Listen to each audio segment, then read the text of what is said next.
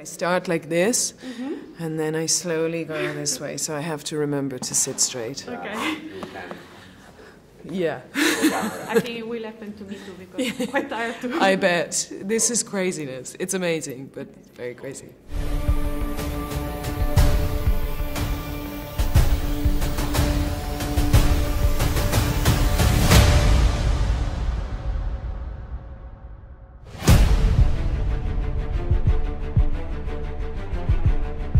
Hi, Elisa.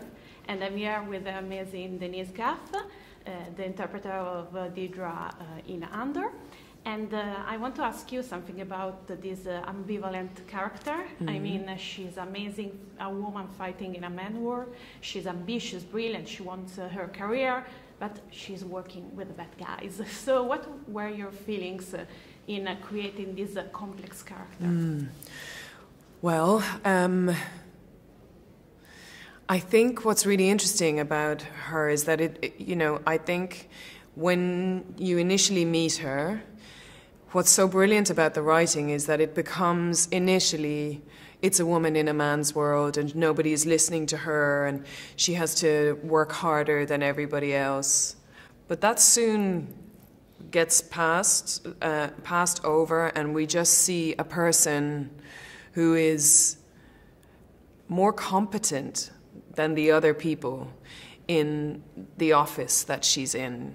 And you see her drive and her. Um, you know, she's sort of a rebel within the empire, but her objective is to save the empire, to ensure that it's, um, it recognizes the danger that it's in from being sort of lazy, you know. And I think it's very frustrating for her that other people in her office are given more sectors than she is and more responsibility than she is, despite the fact that they're missing really important pieces of information. So her objective is to, it's not so much to become powerful within the empire, it's to save the empire, which is what makes her so scary because she believes entirely that she is a hero, that if only everybody would listen to her, then they would be safe. But she'll go to any lengths to save the empire. So people on the other side are in danger because she doesn't care so much about those people.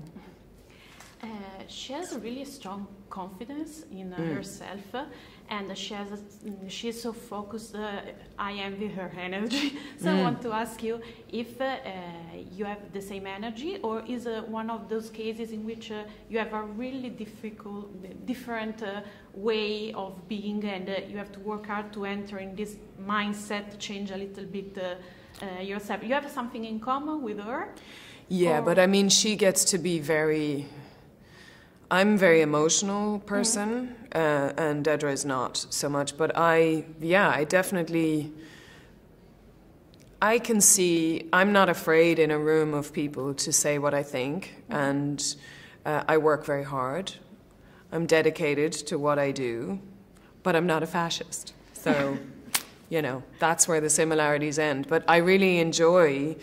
Um, her work ethic because the thing is she speaks in that room in front of everybody because she knows that she has done the work. So I am a huge admirer of anyone who works really hard and who is committed to doing their job really well. I cannot bear working with people who are lazy. Yeah. I hate it. I hate it and I see it and I think, "Oh, even when I was a cleaner, like I it you have to I want it to be perfect.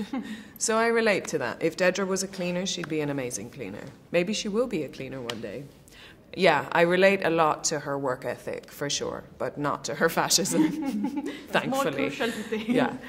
And uh, um, what about uh, um, being, uh, uh for the first time, I think, in um, a fandom world that is yeah. so enthusiastic, big, but also sometimes a lot uh, mm. to face uh, something yeah. like Star Wars itself. Well, I'm not on social media, so that's.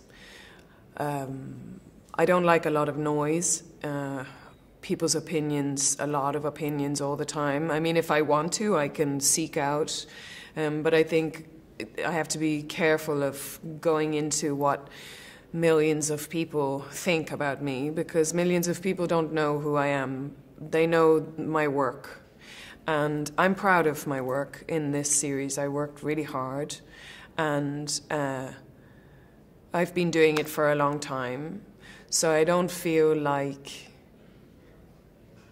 I can't really spend my time worrying about what the fandom think, but I hope that they understand that the offering I've made is one that has been done with great respect for what they have uh, created, because the fandom has kept this thing going for so long.